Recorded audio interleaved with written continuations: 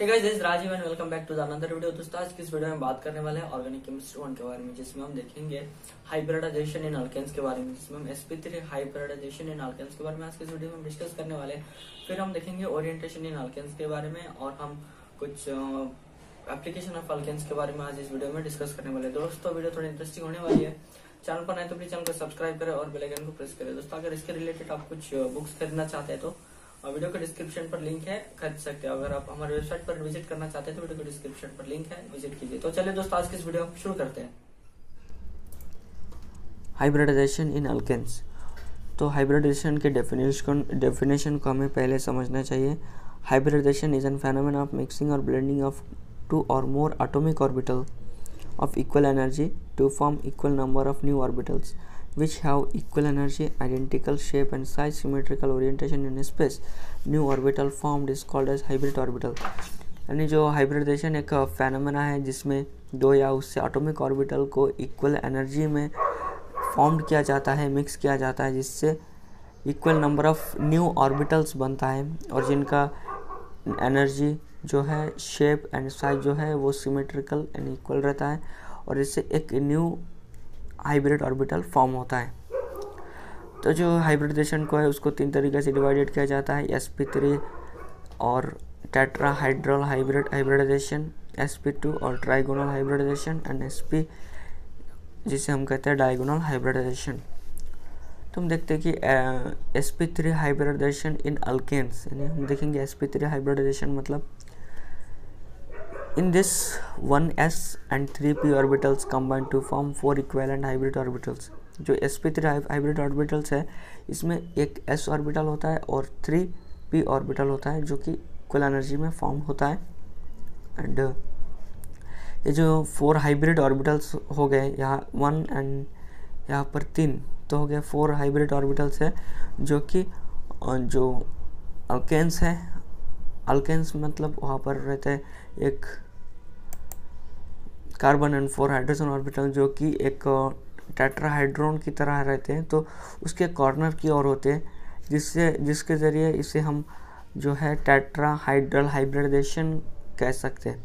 S P three hybrid orbitals को हम टेट्राहाइड्रोन, tetrahedral hybridisation कहते हैं, क्योंकि ये जो टेट्राहाइड्रोन्स होते हैं, अल्केन्स की, उसकी ओर होती है। जो सैचुरेटेड कंपाउंड्स होती हैं, जैसे अल्केन्स जो कि सैचुरेटेड कंपाउंड्स है, जो कि सिंगल बॉन्ड होते हैं, इन सभी जो कंपाउंड्स होते हैं, वो एस पी थ्री हाइब्रिडाइजेशन होती है। तो मैं एक एग्जांपल देख लेंगे। फॉर एग्जांपल जो मिथेन है तो मिथेन मॉलिक्यूल में जो है, वो एस पी थ्री हाइब्रिडाइजेशन होता है, क्योंकि इसमें जो है एस पी थ्री जो हाइब्रिडाइजेशन है मिथेन में सी एच फोर होता है। सी एच फोर मतलब एक कार्बन एंड फोर हाइड्रोजन होता है तो फोर हाइड्रोजन जो है वो फोर एस पी थ्री होता है।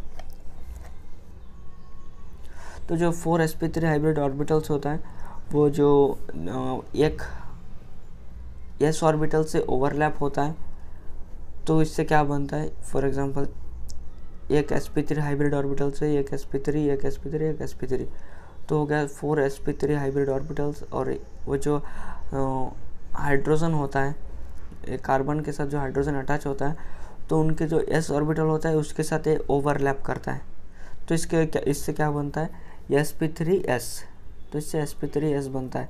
यानी जो कार्बन के जो four S P three hybrid orbitals है, वो दूसरे जो हाइड्रोजन्स है, उसके एस ऑर्बिटल से उसके जो एस ऑर्बिटल है हाइड्रोजन को उससे ओवरलैप करता है।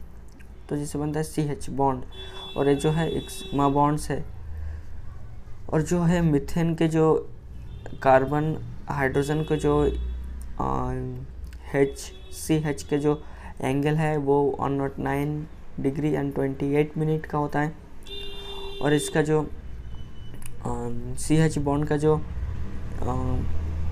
equivalent to one ten P M long और ये जो है वन टेन ये जो सी एच जो बॉन्ड है, उसका one ten P M long होता है, इसका लेंथ और इसका जो डिसोसिएशन एनर्जी है वो फोर फिफ्टीन के जी पर जॉल का होता है। तो हम देखेंगे S P three hybridization of ethane के बारे में। तो हम पहले देखें मीथेन के तो हम देखेंगे इथेन के बारे में।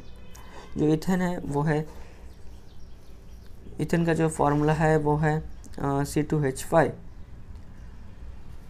तो इसमें देखेंगे जो both of the carbon are sp3 hybridization to one one of the sp3 hybrid uh, orbitals of one carbon overlap to the sp3 orbitals of other carbon which their internuclear axis to form sp3 sp3 and cc sigma bonds and the remaining sp3 orbitals of each carbon overlap to the 1s orbital of the h carbon along with the internuclear axis 6 sp3s ch sigma bonds मतलब जो ethane होता है ethane का जो यहाँ पर एक सी यहाँ पर एक सी यानी दो कार्बन होता है, दो कार्बन जो बॉन्ड होता है, दो कार्बन बॉन्ड वो S P three and S P three जो ऑर्बिटल्स है, वो एक दूसरे से ओवरलैप्ड होता है, जिसके ज़रिए जो S P three S P three और सी सी बॉन्ड बनता है, जो कि एक सिग्मा बॉन्ड है।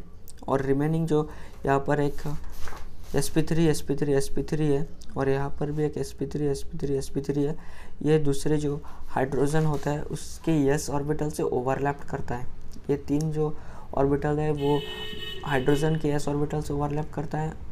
और जो एस पी थ्री और एस पी थ्री जो यहाँ यहाँ का, इस तरह, इस साइड का और इस साइड का जो एस पी थ्री बॉन्ड है, वे एक दूसरे से ओवरलैप करता है।